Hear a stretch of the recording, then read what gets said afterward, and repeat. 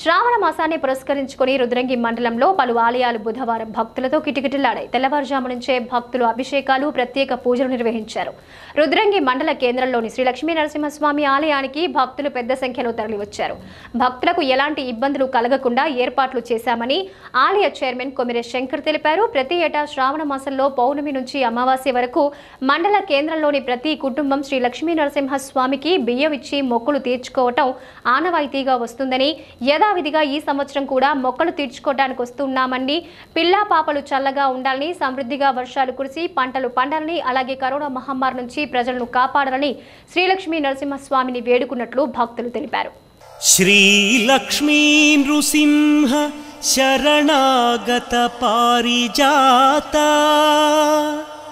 జ్వాలా నృసింహ करुणामय द्यूयमूर्ते लीलाकटाक्षपरिरक्षित सर्वलोक श्रीयोगनृसिंह मम देहि करावलम्बम्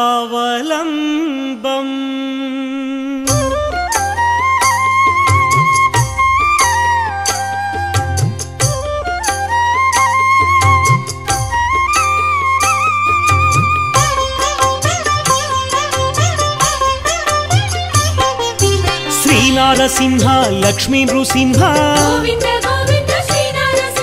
సింహాచలేశ సింహగిరీశ. మహోగ్రనాథ అనాథనాథ.